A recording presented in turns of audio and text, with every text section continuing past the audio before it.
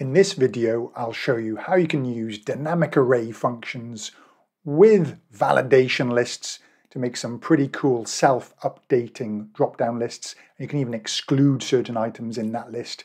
It's pretty cool. Let's go.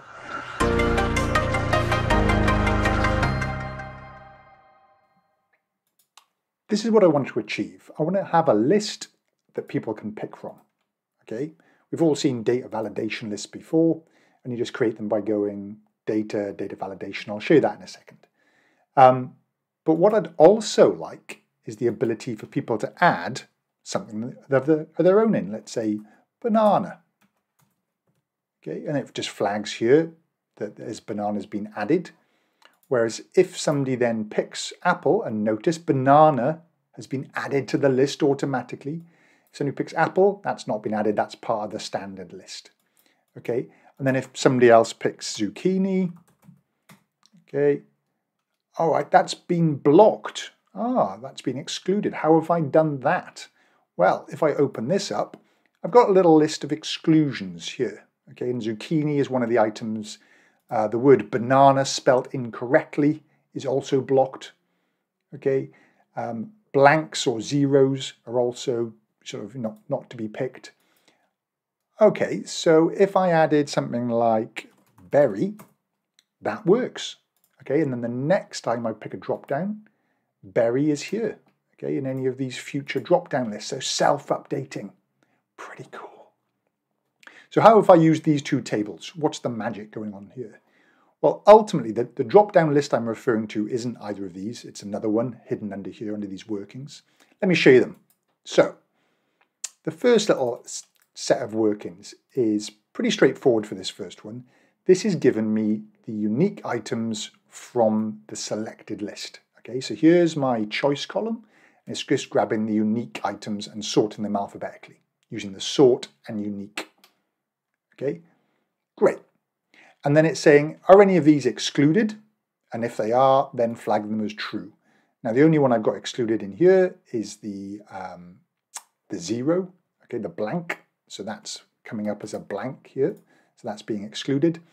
Um, let's say I changed zucchini to berry, or I added something else in here like apple. Oh, actually, no, that's a bad one because apple's already in the main list.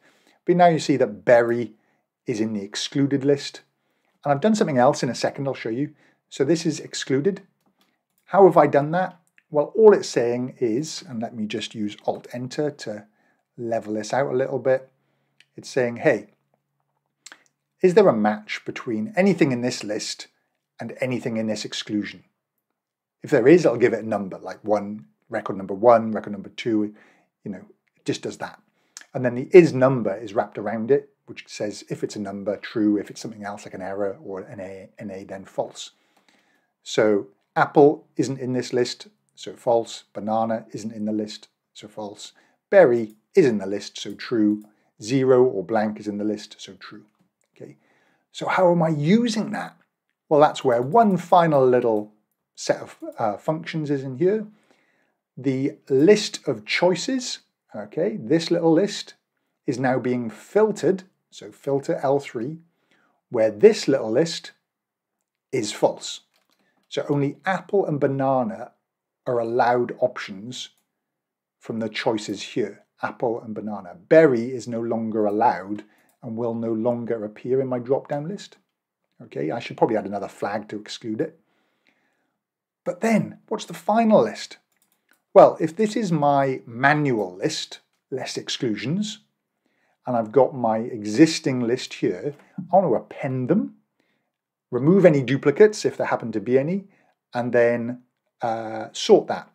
Okay, so a bit of a longer formula. Let me show you. It looks a bit crazy, okay, but ignore this bit to start with. I'll explain that in a second. All we're saying is sort unique, okay, same thing as before. And then we're using the vstack, the vertical stack function, to stack the existing choices, okay, with my new list in O3. Okay, so the existing choices is over here, stack that on top, sort them, remove the duplicates, okay? So what's that first bit about? What's this if is error O3? Well, this comes from the very first option here. if there's no entries, okay, this list, okay, has no valid options, so it errors out to a calc. So all this little starting bit does is say, hey, if O3 is an error, and don't put that um, hash in there because otherwise you get a spill error type thing. If just that cell is an error, then just give me the list of existing choices, okay? Because nobody's entered anything new in. So there we go. Look, it's a little bit, you know, it's that's that's tricky, okay? There's there's a lot going on there, but it's pretty cool because now I can just come in here, I can pick pear, but I can't type in melon, but I can type in lemon, okay? So how do you do that? Well, you basically just highlight this list range here, data, and go to data validation, and the source, okay, needs to be this little list, okay, Q3 hash. All right, and that's really it. That's your final source. And then your input or your error message can be a stop with not valid and whatever else you want to put in here. Okay, download this file. There'll be a link in the description below. Check out the description for any future updates to whether this works in Excel for web. If you want to check out how this little formula works, it's just basically saying, hey, if this isn't blank, because I don't want to put a warning if it's blank, and the number of times this exists in choices is zero, then give it a tick. That means it's new. If it, if it doesn't exist in the existing list of choices, then give it a little tick. And I've used an emoji for that. So Windows key, um, sorry, Windows key full stop to add an emoji. So all sorts of options in there. Hope you find this useful. Let me know what you think. Is this too complicated? Is it too confusing? Does it give you some ideas? Can you use this somewhere? Let me know in the comments below and I'll catch you in the next video.